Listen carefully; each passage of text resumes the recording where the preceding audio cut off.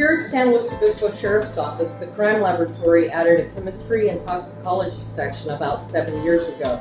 We use state-of-the-art gas chromatograph, mass spectrometer instruments to do our analysis for us.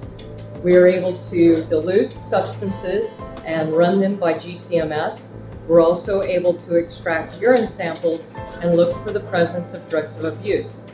This technology is based on an auto sampler that has a tower that can measure very small amounts of sample, which are easier to test with the instrumentation.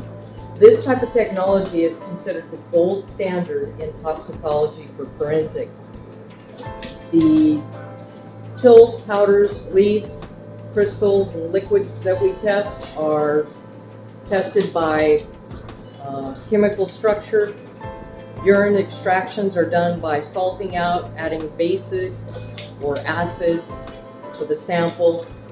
There's a lot of work that goes into the processing of the specimen before it can actually be set on the instrument. We spend our days here at the lab getting the samples ready. We can program these instruments so that they can actually run throughout the night and the next day we can come in and read out results.